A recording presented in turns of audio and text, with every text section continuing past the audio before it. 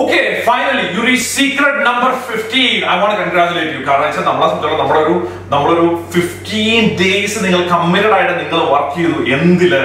നിങ്ങളുടെ ബിസിനസിന്റെ സെയിൽസ് കൂട്ടാനായിട്ട്. ഞാൻ നേരത്തെ പറഞ്ഞ പോലെ നിങ്ങൾ ഓരോ ദിവസം മുന്നോട്ട് വരുമ്പോഴും നിങ്ങൾ നിങ്ങളെ തന്നെ കൺഗ്രാജുലേറ്റ് ചെയ്യുക. നിങ്ങൾ ജസ്റ്റ് നിങ്ങളെ നിങ്ങളെ കൂടെ കേട്ട ആൾക്കാരെ കൺഗ്രാജുലേറ്റ് ചെയ്യുക. ഇപ്പൊ തന്നെ നിങ്ങൾ ചാറ്റിൽ ഇടുക. കൺഗ്രാജുലേഷൻസ് നിങ്ങൾ എല്ലാ ആൾക്കാരെ അങ്ങോട്ടും ഇങ്ങോട്ടും സപ്പോർട്ട് ചെയ്യുക. കൺഗ്രാജുലേഷൻസ് ചാറ്റ് ഇടുക. നിങ്ങൾ അത് ഇടുമ്പോൾ നിങ്ങളെയാണ് നിങ്ങൾ കൺഗ്രാജുലേറ്റ് ചെയ്യുന്നത്. നിങ്ങളെ പോലെ കാണുന്ന മറ്റു ആൾക്കാരെയാണ്. നമ്മൾ ആയിരക്കണക്കിന് ആൾക്കാർ ഓൾറെഡി നമ്മുടെ നയന്റി ഡേയ്സ് ലൈഫ് വാങ്ങിച്ചു കഴിഞ്ഞു. സംബന്ധിച്ചിടത്തോളം നമ്മൾ ഈ വീഡിയോ സീരീസ് ഇപ്പോഴാണ് സ്റ്റാർട്ട് ചെയ്തത് നമ്മൾ എല്ലാ ആൾക്കാർക്കും ഇത് അയച്ചു കൊടുക്കുന്നുണ്ട്. ആ ആൾക്കാരിൽ നിങ്ങളാണ് കമ്മിറ്റഡ് ആയിട്ടാണ് സീരിയസ് ആയിട്ട് നിങ്ങളുടെ ബിസിനസ്സിന് നെക്സ്റ്റ് ലെവലിലേക്ക് പോകാൻ റെഡി ആയിട്ടുള്ള ആൾക്കാർ ഇതിനു മുമ്പ് ഈ പറഞ്ഞ കേട്ട വീഡിയോസ് വെച്ച് നിങ്ങൾ ഇംപ്ലിമെന്റ് ചെയ്ത് നിങ്ങൾക്ക് റിസൾട്ട് കിട്ടിയിട്ടുണ്ടെങ്കിൽ യെസ് എന്ന് ചാറ്റ് ഇടുക. എന്നിട്ട് നിങ്ങളുടെ റിസൾട്ട് നിങ്ങൾക്ക് എന്താണെന്ന് ചാറ്റ് ഇടുക. എന്താണ് നിങ്ങൾക്ക് ഉണ്ടാക്കാൻ പറ്റിയിട്ടുള്ളത് ഈ കഴിഞ്ഞ പതിനാല് ദിവസത്തെ സെയിൽസിനെ കുറിച്ചുള്ള സെയിൽസ് സീക്രട്സ് നിങ്ങൾ പഠിച്ചത് വെച്ചിട്ട് നിങ്ങൾ എന്താണ് ഇംപ്ലിമെന്റ് ചെയ്തത്? എന്താണ് നിങ്ങൾക്ക് നെക്സ്റ്റ് ലെവലിലേക്ക് നിങ്ങളുടെ ബിസിനസ്സിലേക്ക് ഇംപ്ലിമെന്റ് ചെയ്യാൻ പറ്റിയത് എന്ന് നിങ്ങൾ ചാറ്റിൽ ഇടുക. വളരെ ബ്രീഫ് ആയിട്ട് ഇട്ടാൽ മതി. ഞങ്ങൾ എല്ലാ ആൾക്കാരും നിങ്ങളെ സെലിബ്രേറ്റ് ചെയ്യുന്നു. നിങ്ങളുടെ വളർച്ചയാണ് എന്റെ സ്വപ്നം. നിങ്ങളുടെ ബിസിനസിന്റെ വളർച്ചയാണ് എന്റെ സ്വപ്നം. ലോകമെമ്പാടുമുള്ള നിങ്ങളെ പോലുള്ള ബിസിനസ്സുകാരെ നെക്സ്റ്റ് ലെവലിലേക്ക് കൊണ്ടുവരുന്നതാണ്. അതാണ് എന്റെ ലൈഫിന്റെ മിഷൻ തന്നെ.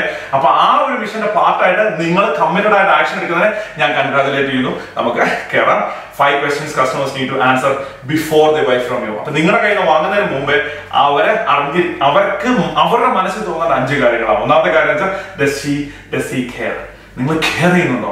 നിങ്ങൾ കെയർ ചെയ്യുന്ന ഒരു മനുഷ്യനാണോ? നിങ്ങളെ സംബന്ധിച്ച് അവരുടെ ബിസിനസിനെ കുറിച്ച് കെയർ ചെയ്യുന്നുണ്ടോ? അപ്പൊ നിങ്ങൾ നിങ്ങളുടെ സെയിൽ നിങ്ങളുടെ പ്രൊഡക്റ്റ് നിങ്ങളുടെ സർവീസും അതിനെ കുറിച്ചൊക്കെ പറഞ്ഞുകൊണ്ടിരിക്കുന്നുണ്ടോ? പക്ഷെ അവരുടെ ക്വസ്റ്റൻ വെച്ചാൽ ഈ ആൾ കെയർ ചെയ്യുന്നുണ്ടോ? നിങ്ങളെ കുറിച്ച് കെയർ ചെയ്യുന്നുണ്ടോ? നിങ്ങളുടെ വളർച്ചയെ കുറിച്ച് കെയർ ചെയ്യുന്നുണ്ടോ? നിങ്ങളുടെ ബിസിനസിനെ കുറിച്ച് കെയർ ചെയ്യുന്നുണ്ടോ? എന്നാണ് അവർ ചോദിച്ചുകൊണ്ടിരിക്കുന്നത്. ക്ലിയർ ആണോ? അവർ അവരുടെ ബിസിനസ്സും അവരുടെ ലോകത്തെ കുറിച്ചാണ്. നിങ്ങൾ കെയർ ചെയ്യുന്ന ഒരു മനുഷ്യനാണോ? അപ്പൊ നാച്ചുറലി നിങ്ങൾ സിൻസിയർലി കെയർ ചെയ്യുന്ന ഒരു മനുഷ്യനായിട്ട് ഷോപ്പ് ചെയ്യുക. ഒരു മനുഷ്യ സ്ത്രീ ആയിട്ട് ഷോപ്പ് ചെയ്യുക. നിങ്ങളുടെ പ്രൊഡക്റ്റ് ആൾക്കാർ വാങ്ങണം രണ്ടാമത്തെ കാര്യം do I really need this എനിക്ക് ഈ പരിപാടി ആവശ്യമുണ്ടോ? ഞാൻ നേരത്തെ പറഞ്ഞ ഇതാണ് നമ്മൾ പെയിന് ആംപ്ലിഫൈ ചെയ്യണം എക്സാജറേറ്റ് ചെയ്യണം എന്ന് പറഞ്ഞതിന്റെ കാര്യം അത് തന്നെയാണ്. കാരണം do I really need this എനിക്ക് ഇപ്പൊ ഇത് ആവശ്യമുണ്ടോ? ഇപ്പൊ എനിക്ക് ആവശ്യമുണ്ടോ?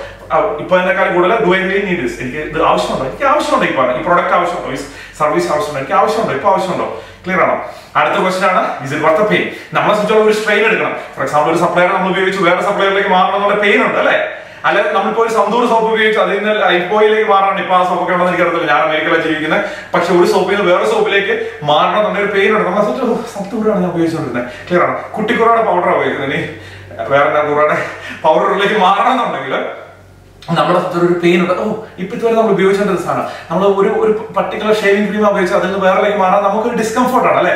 ഒരു സ്ഥലത്ത് നിന്ന് ഒരു പച്ചക്കറി മേടിക്കുന്ന ഒരു കടയിൽ നിന്നാണ് ആ കടയിൽ പോയി ആ കടക്കാരൻ ഇച്ചിരി മോശമായിട്ട് പെരുമാറി ആ എന്നാ ഞാൻ കാണിച്ചതാണ് അപ്പുറത്തെ വർക്കിയുടെ കടയിൽ പോയി ഞാൻ മേടിക്കാം എന്ന് പറഞ്ഞാൽ ചിലപ്പോൾ മാറും. അല്ലാത്ത ലെവലിൽ നമുക്കൊരു പെയിൻ ഉണ്ട്. മാത്രമല്ല ഈ കടക്കാരുടെ ഫ്രണ്ടിൽ നമ്മൾ പയർ മേടിച്ചോട്ട് പോകുമ്പോൾ ഇവൻ കാണുമല്ലോ എന്നുള്ള വിചാരം വരെ നമുക്കുണ്ട്. അങ്ങനെയാണ് നമ്മൾ വയർഡ് അല്ലേ? അപ്പൊ അതുകൊണ്ട് നമ്മളുടെ പെയിന് നമ്മൾ ഈ സ്വിച്ച് ചെയ്യുമ്പോൾ ഉണ്ടാകുന്ന പെയിൻ ഈ ഇപ്പോൾ ഉള്ള സെയിൽസ് പേഴ്സണെ വിളിച്ചിട്ട് ഞാൻ പറയണം ഇനി നിങ്ങളുടെ വർക്ക് ചെയ്യുന്നില്ല ഞാൻ വേറെ അവിടെ പോയി എന്ന് പറഞ്ഞാൽ ഞാൻ ചതിച്ചു. അയ്യോ എന്നാലും സാറിന് അങ്ങനെ ചെയ്ത. ഇങ്ങനെയുള്ള ചിന്തകളൊക്കെ മനുഷ്യരുണ്ട്. അതുകൊണ്ടാണ് ഇസ് ഇറ്റ് വർത്ത് പെയിൻ എന്ന് അവർ ആഗ്രഹിക്കുന്നത് മൂന്നാമത്തെ ക്വസ്റ്റൻ ഉണ്ട് I have to change the current supply okay മൂന്ന് ക്വസ്റ്റൻസ് എന്തൊക്കെയാണ്? Does he care does he really need do I really need this മൂന്നാമത്തെ ഇസ് ഇറ്റ് വർത്ത് പെയിൻ നാലാമത്തെ കാര്യം what does other people think if I do this ഇപ്പോൾ supplier എന്നാ വിചാരിക്കും എന്റെ ഭാര്യ എന്നാ വിചാരിക്കും എന്റെ ഭർത്താവ് എന്നാ വിചാരിക്കും എന്റെ പിള്ളേർ എന്നാ വിചാരിക്കും എന്റെ കൂട്ടുകാരൻ എന്നാ വിചാരിക്കും എന്റെ പാർട്ണർ എന്നാ വിചാരിക്കും. What would other people think if I do this am I making another mistake മിക്കവാറും എല്ലാ ആൾക്കാർക്കും ഉള്ള ഒരു പേടിയാണ്. അവർ എന്തെങ്കിലും ഒരു പ്രൊഡക്റ്റ് മേടിച്ച് മിസ്റ്റേക്ക് വരുത്തിയിട്ടോ ഒരു അബദ്ധത്തിൽ പോയി ഒരു ആടിലോ ഒരു മാഞ്ചേതിലോ ഒരു മോൺസണിലോ പോയി ചാടിയിട്ടുള്ള ആൾക്കാരാണ് എല്ലാ മനുഷ്യരും. ഇത് നിങ്ങൾ മലയാളികളുടെ സിറ്റുവേഷൻ മാത്രമല്ല ലോകം മുഴുവനുള്ള ആൾക്കാർ എന്തെങ്കിലും അബദ്ധങ്ങളൊക്കെ ചാടിച്ചിട്ടുണ്ട് എന്തെങ്കിലും റിസ്ക് എടുത്തിട്ടുണ്ട് എന്തെങ്കിലും അബദ്ധങ്ങളൊക്കെ പറ്റിയിട്ടുണ്ട് എന്തെങ്കിലുമൊക്കെ പണ്ടത്തെ സാധനങ്ങൾ വാങ്ങിയിട്ടുണ്ട് എങ്ങനെയൊക്കെ പൈസ കളഞ്ഞിട്ടുണ്ട്. അവർ ഇനി വേറെ മിസ്റ്റേക്കിലേക്ക് ചാടാൻ പോവാണോ എന്നുള്ള പേടി കൂടെ അവരുടെ മനസ്സിലുണ്ട്. അപ്പൊ വേറെ ആൾക്കാർ എന്ത് വിചാരിക്കും? ഞാൻ ഒരു മിസ്റ്റേക്ക് ഇനി വേറൊരു മിസ്റ്റേക്ക് കൂടെ വരുത്താൻ പോകും ഇത്രയും നാളെ ഞാൻ മണ്ടത്തരം കാണിച്ചു ഇനി വേറൊരു മണ്ടത്തരം കാണിക്കാൻ പോകണം ഇതാണ് നാലാമത്തെ മനുഷ്യരുടെ ചിന്ത. അഞ്ചാമത്തെ കാര്യം ഡു ട്രൈ നോക്കാൻ വെയിറ്റ് എനിക്ക് വെയിറ്റ് ചെയ്യാൻ പറ്റുമോ? അത് ഇപ്പൊ തന്നെ എനിക്ക് മേടിച്ച ഒക്കുള്ളൂ ഇപ്പൊ തന്നെ എനിക്ക് മേടിച്ച ഒക്കുള്ളൂന്നുണ്ടെങ്കിൽ അപ്പൊ സെയിൽ നടക്കുവാണ് തീരണം അർജൻസി ഉണ്ട് അവർക്ക് ഇമ്പോർട്ടൻസ് ഉണ്ട്. ഈ ഇപ്പൊ തന്നെ മേടിക്കാം എന്ന ലെവലിലേക്ക് അവരെ എത്തിക്കാനായിട്ട് നിങ്ങൾ കമ്മിറ്റ്മെന്റ് വേണം. ക്യാൻസർ പേഷ്യന്റ് ആയിട്ട് വന്നിട്ട് പറയണം. അതെ ഞാൻ ആറ് മാസം കഴിയുമ്പോൾ വന്ന് ട്രീറ്റ്മെന്റ് ചെയ്തേക്കാം. സോറി സാർ ആറ് മാസം കഴിയുമ്പോൾ സാറിന് ട്രീറ്റ്മെന്റ് വരാൻ പറ്റണമെന്നില്ല ക്ലിയർ ആണോ? കാരണം അതാണ് ട്രൂത്ത് കാരണം വെച്ചാൽ നിങ്ങൾ അങ്ങനെ ഒരു ക്രിട്ടിക്കൽ സിറ്റുവേഷൻ ഉണ്ടാകും അപ്പം തന്നെ സോൾവ് ചെയ്യും. ഇപ്പൊ ചുമ്മാ വെയിറ്റ് ചെയ്തൊരു കാര്യമില്ല. മാത്രം വളരെ ഷോർട്ട് ആയിട്ട് ലൈഫേ ഉള്ളൂ. മനുഷ്യ അപ്രോക്സിമേറ്റ്ലി എത്രയാണ്? നിങ്ങളൊന്ന് ആലോചിച്ച് നോക്കി കഴിഞ്ഞാൽ മൂവായിരത്തി അറുന്നൂറ്റി അമ്പത് ദിവസമാണ് ഒരു പത്ത് വർഷം കൂടുമ്പോൾ മാക്സിമം നമ്മൾ ജീവിച്ചിരിക്കുന്നത് മുപ്പത്തി ആറായിരത്തി മുപ്പത്തി ആറായിരത്തി അഞ്ഞൂറ് ദിവസമാണ് ടിപ്പിക്കലി ഒരു മനുഷ്യൻ ജീവിച്ചിരിക്കുന്നത് അല്ലേ? അപ്പം അപ്പൊ അല്ലെ നൂറ് വർഷം ജീവിച്ചിരുന്നാൽ പോലും. അത്ര അത്ര ദിവസം ജീവിച്ചിരിക്കുന്നു. അപ്പൊ ആ സമയത്ത് ഓരോ ആറ് മാസം മുന്നോട്ട് പോകുന്നതിന് ജീവിതം പൊക്കോണ്ടിരിക്കുകയാണ് ആറ് മാസം കൂടുമ്പോൾ നൂറ്റമ്പത് ദിവസം വെച്ച് പൊക്കോണ്ടിരുന്നു അപ്രോക്സിമേറ്റ്ലി അല്ലെ? അപ്പൊ അങ്ങനെ ചില കാര്യങ്ങൾ പെട്ടെന്ന് ചെയ്യണം. പെട്ടെന്ന് ചെയ്യേണ്ടത് പെട്ടെന്ന് ചെയ്തില്ലെങ്കിൽ നമുക്ക് അടുത്ത റിസൾട്ടിലേക്ക് അടുത്ത മൂവ്മെന്റിലേക്ക് നമുക്ക് പോകാൻ പറ്റണമെന്നില്ല അല്ലെ? അപ്പൊ അങ്ങനെ വരുമ്പോൾ അർജൻസിയിൽ ആക്ഷൻ എടുക്കണം. അപ്പൊ എന്തൊക്കെയാണ് അഞ്ച് കാര്യങ്ങൾ? ഇത് വളരെ ഈ കാര്യം പ്രാക്ടീസ് ഞാൻ നേരത്തെ പറഞ്ഞ പോലെ ഈ ഓരോ ഇൻഡിപെൻഡന്റ് സീക്രട്സും നിങ്ങളുടെ ബിസിനസിനെ കൂട്ടും. ഇതെല്ലാം കൂടെ ക്യുമുലേറ്റീവ് ആയിട്ട് നിങ്ങൾ പല പ്രാവശ്യം കേട്ട് ഉപയോഗിക്കണം. നിങ്ങളുടെ ബിസിനസിനെ സിഗ്നിഫിക്കന്റ് ആയിട്ട് നെക്സ്റ്റ് ലെവലിലേക്ക് കൊണ്ടുവരും. ഓക്കെ അപ്പൊ അങ്ങനെ വരുമ്പോൾ നിങ്ങളെ സംബന്ധിച്ചോളം അഞ്ച് കാര്യങ്ങളാണ്. ജസ്റ്റ് കെയർ നിങ്ങൾ കെയർ രണ്ടാമത്തെ കാര്യം do I need do I എനിക്കിപ്പോൾ ആവശ്യമുണ്ട്. മൂന്നാമത്തെ കാര്യം pain is it worth pain എനിക്ക് ഉണ്ടാകുന്ന ഒരു പെയിൻ ഉണ്ട്. ഞാൻ ഒരു സാധനം എടുക്കണം കയ്യിൽ കയ്യിലിരിക്കുന്ന പൈസ എടുത്ത് അങ്ങോട്ട് എടുക്കണം അപ്പൊ അതിന് വേണ്ടി വർത്താണോ നാലാമത്തെ കാര്യം what is other people think if I do this ഒന്ന് അതിന്റെ പാർട്ട് തന്നെയാണ്. Am I making another mistake വേറൊരു മിസ്റ്റേക്ക് ഞാൻ വരുത്തിക്കൊണ്ടിരിക്കും. കുറെ മിസ്റ്റേക്ക് ഞാൻ ഓൾറെഡി വരുത്തിയിട്ടുണ്ട്. ഇനി ഇനി ഒരു മിസ്റ്റേക്ക് കൂടെ എനിക്ക് വരുത്താൻ താല്പര്യമില്ല. അഞ്ചാമത്തെ കാര്യം do I need right now can it wait നമുക്ക് വെയിറ്റ് ചെയ്യാൻ പറ്റുമോ? നമ്മളെ സംബന്ധിച്ച് കുറച്ചാവിടെ കഴിഞ്ഞ ചെയ്താൽ പോരെ. പയ്യെ പയ്യെ ചെയ്താൽ പോരെ.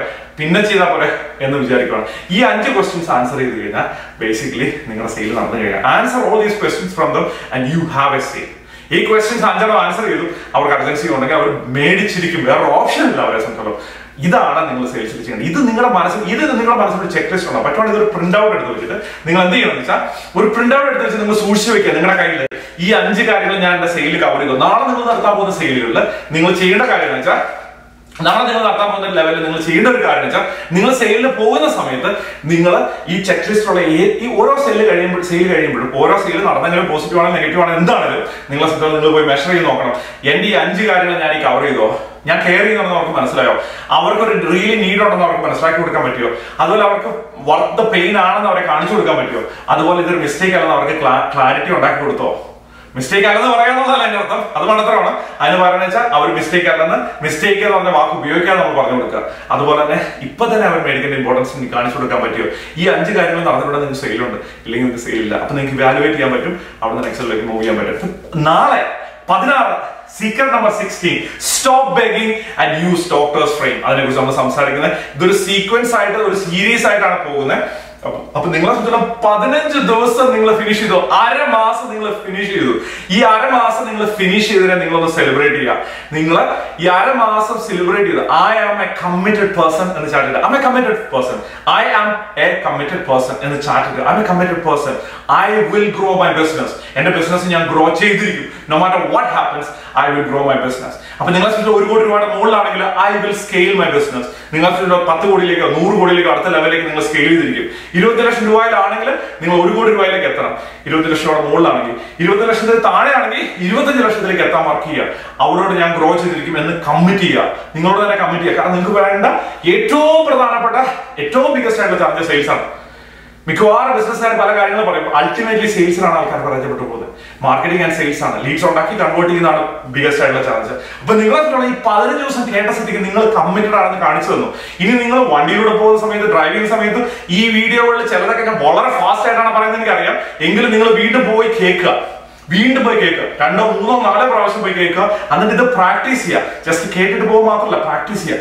ഇതിൽ രണ്ടാമത്തെ മൂന്നാമത്തെ തമ്മിൽ മിക്സ് ചെയ്ത് പ്രാക്ടീസ് ചെയ്യുക. മൂന്നാമത്തെ അഞ്ചാമത്തെ തമ്മിൽ മിക്സ് ചെയ്ത് പ്രാക്ടീസ് ചെയ്യുക. ഈ ഓരോ കാര്യങ്ങളും നിങ്ങളുടെ ബ്രെയിനിൽ പെട്ടെന്ന് ആക്റ്റീവായിട്ട് നോർമൽ ഹാബിറ്റ് ആയിട്ട് നിങ്ങൾക്ക് വരുന്ന സമയത്ത് നിങ്ങൾക്ക് നിങ്ങളുടെ സെയിൽ സിഗ്നിഫിക്കന്റ് ആയിട്ട് ഗ്രോ ചെയ്യുക അപ്പൊ ഇരുപത് ലക്ഷത്തിൽ താഴെയുള്ള ഇരുപത് ലക്ഷത്തിലേക്ക് എത്തുക.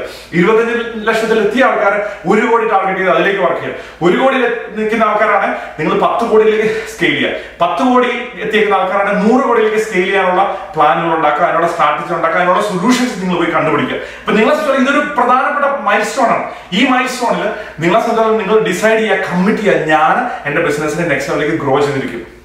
ഓക്കെ കമ്മിറ്റ്മെന്റ് എടുക്കുക. അതിൽ നിങ്ങൾക്ക് വേണ്ട സപ്പോർട്ടും വേണ്ട കാര്യങ്ങളും എല്ലാം നിങ്ങൾ നിങ്ങൾക്ക് വേണ്ട രീതിയിൽ റൈറ്റ് ആയിട്ട് നിങ്ങൾക്ക് വന്നുകൊണ്ടിരുന്നോളും. നിങ്ങളെ ബിസിനസ് ഗ്രോ ചെയ്യും സ്കെയിൽ ചെയ്യും നെക്സ്റ്റ് ലെവലിലേക്ക് പോകും എന്ന് കമ്മിറ്റ് ചെയ്യുക. അവിടെയാണ് നിങ്ങൾ ഗ്രോത്ത് ഇരിക്കുന്നത്. നാളെ നമ്മൾ പറയാൻ പോകുന്നത് stop begging and use doctor's friend. Talk to you tomorrow.